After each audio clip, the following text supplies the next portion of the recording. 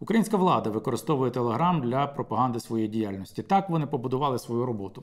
Вони закрили всі незалежні телевізійні канали, ті, які залишилися, об'єднали в телевізійному марафоні і фактично контролюють все, що в цьому марафоні говориться по всіх українських каналах, що й фінансується з державного бюджету. Але все одно марафон має дуже багато обмежень.